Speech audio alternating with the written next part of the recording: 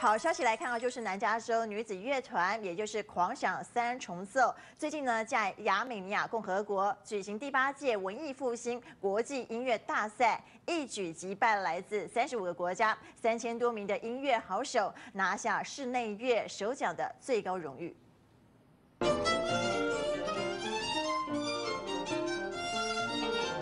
看画面上狂想三重奏的三位女音乐家，随着音符摆动，演奏自创乐曲与狂想共舞。历经十三年的光阴，三人现在都是巡回世界各地，历经过大大小小的演出，经验丰富的音乐家。不过对他们来说，这次能拿下国际音乐大赛，最大的关键还是默契十足。他们最出色的地方就是默契。默契非常好，除了技术的演奏的技巧好之外呢，他们的默契是没有没有其他的那任何一组可以跟他们匹敌的。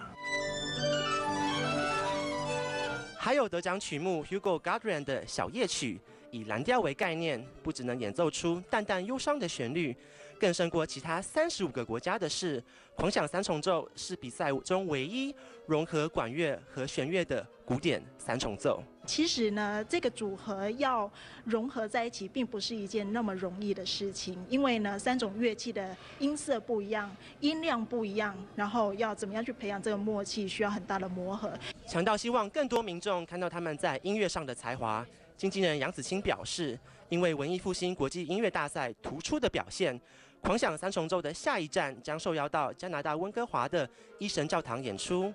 观众查询更多演出详情，欢迎上狂想三重奏的脸书官网。东森新闻李宗尧、陈兆宇在洛杉矶的采访报道。